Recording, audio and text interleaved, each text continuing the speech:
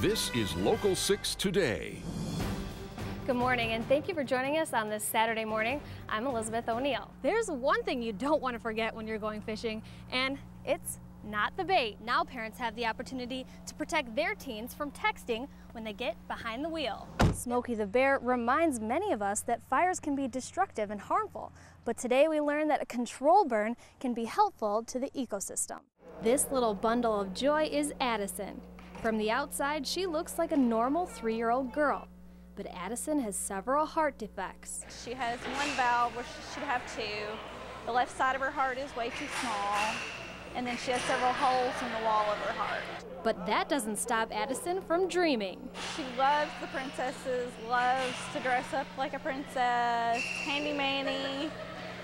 She's all about all the Disney stuff. You get to meet the princesses? Yeah. With the help of the Dream Factory, Addison's wish will now come true. And today, it's all about the buzz. The Paducah Fire Department, Mercy Regional EMS, and Paducah Police represented the red, white, and blue, and all raised money to benefit kids like Addison.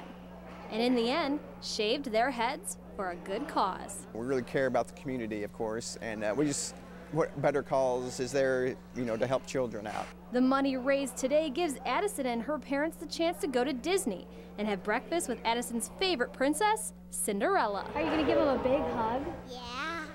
Not only is Addison's dream coming true, it's also a blessing for her parents. We just never expected anything like this, really. We didn't, of course, we didn't know when she was born that there was anything wrong, and we've just been through so much the past three years that something like this for her is just wonderful. I probably wouldn't do it, you know, just be doing it, but for the cause, most definitely. It's a good feeling.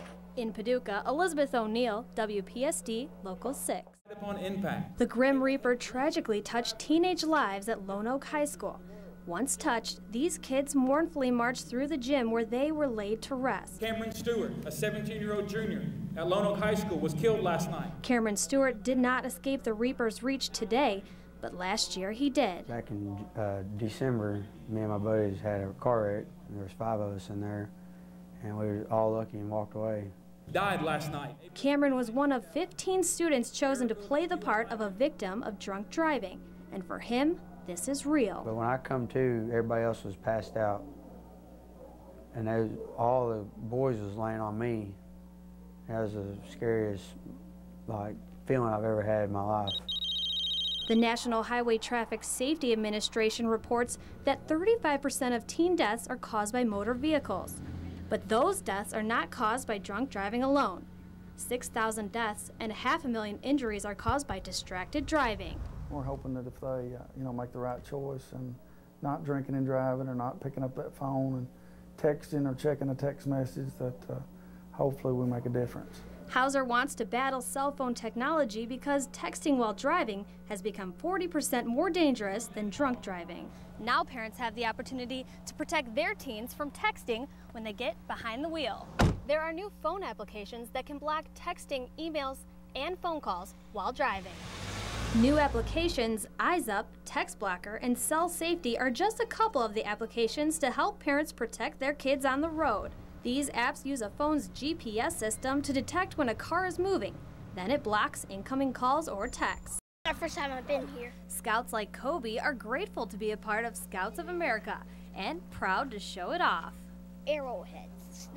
They're every time you go to a ceremony thing, you get some.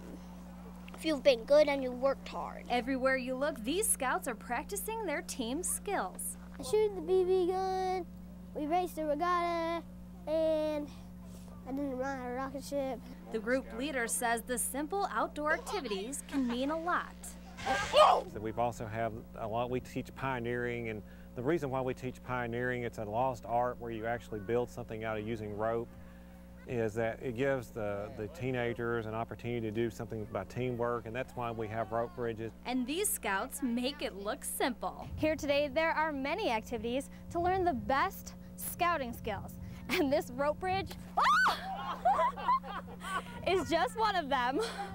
They had the opportunity to walk across the rope bridge, learn outdoor cooking, play frisbee golf, shoot a BB gun, learn the art to archery, tent pitching contests, and many more.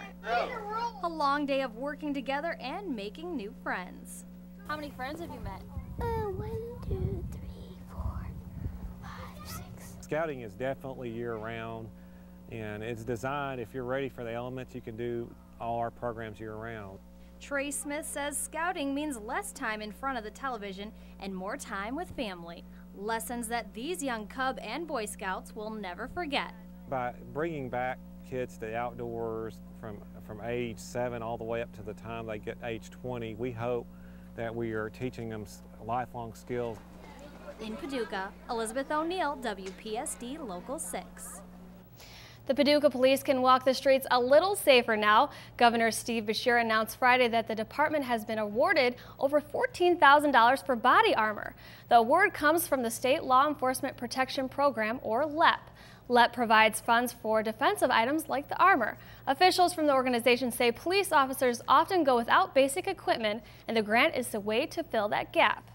And if you're a fan of truth, justice, and the American way, you want to make your way over to Metropolis today. The downtown area of the home of Superman will be packed with people from the 32nd annual Superman celebration. The biggest week of the year has thousands of visitors from around the world stopping in for a peek at the Man of Steel. This year's events including the unveiling of the Noel Neill statue, a powerlifting contest, car show, and plenty of caped crusaders. And you can even run into one of the many celebrities that come to Metropolis for the celebration. To check out the full schedule of events for the Superman celebration, head to our web channel, that's WPSDLocal6.com. And we'll be right back after this break.